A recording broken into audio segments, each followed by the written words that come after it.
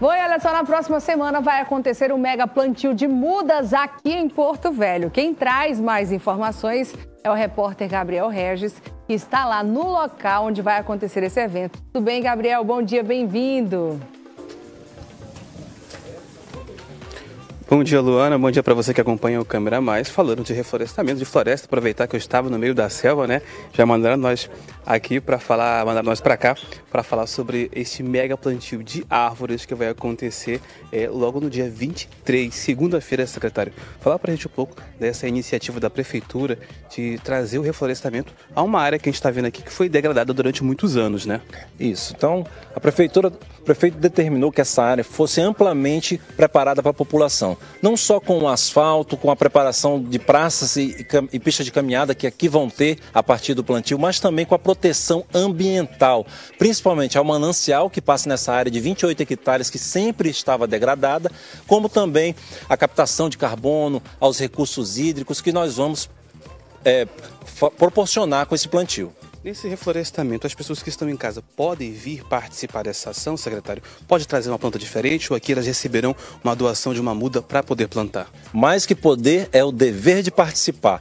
Convocamos toda a população, não precisa trazer sua mudinha, só a sua contribuição de vir, escolher um local ou vários locais, depende das suas mãos, e plantar. Nós temos 30 minutos para bater o recorde da cidade de Itu, que foi o plantio de 30.550 árvores. Se nós plantarmos em 30 minutos as 31 mil, somos recordistas mundiais. Fala um pouquinho também do reflorestamento numa área, principalmente nós da região amazônica. É importante uma ação como essa, o reflorestamento, ele traz de volta também para cá a fauna, a flora e também contribui para a saúde do ser humano, secretário. Com certeza, essa é a nossa iniciativa. Nós queremos fazer dessa área um corredor ecológico um corredor de captação de carbono. As mudas que nós recebemos da principal parceira, a Ecoporé, através do irmão Gonçalves também, que veio fez o transporte para cá, são de excelente qualidade. As que foram produzidas no viveiro municipal também complementam 36 espécies diferentes, entre nativas e também é, frutíferas. Vão fazer essa floresta para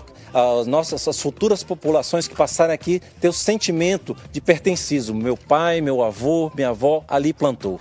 Muito bem, está feito o convite para segunda-feira, dia 23, a partir das 16 horas, na Avenida Santos Dumont, a avenida que dá acesso bem em frente à ponte aqui, a passarela do Espaço Alternativo. vou pedir para o Emerson me acompanhar agora, secretário. Muito obrigado pela sua participação no câmera, para mostrar um pouco das mudas que serão plantadas aqui na Avenida Santos Dumont, nesta parte de área que foi degradada, como o secretário falou, ao longo dos anos. E essas mudas que você observa aqui, por exemplo, neste que foi guardada e separada, são que serão entregues à população que vier. E é claro, vamos lutar para bater o recorde da cidade de Itu, em São Paulo, que plantou cerca de 31.500 mudas. E temos 30 minutos para fazer isso. Na segunda-feira, dia 23 do 10, a partir das 16 horas toda a população está convocada para vir aqui à Avenida Santos Dumont e fazer o plantio. E como ele falou, foram associações que, que ajudaram a fazer, a Ecoporé e o irmão Gonçalves, que trabalharam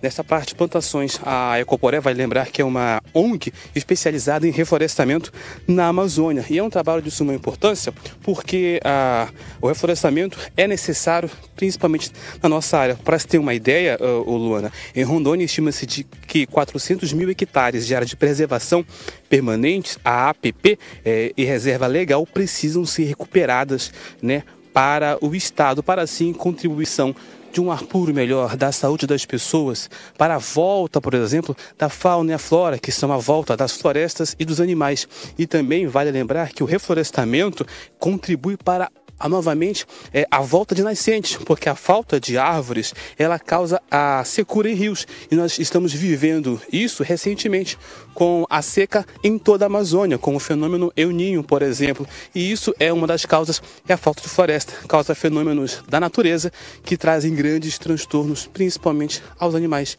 e a nós seres humanos. E com essas imagens agora das, das plantas, das mudas que serão plantadas aqui no dia 23, a partir das 16 horas. Eu me despeço aí nos estúdios do Câmera Mais.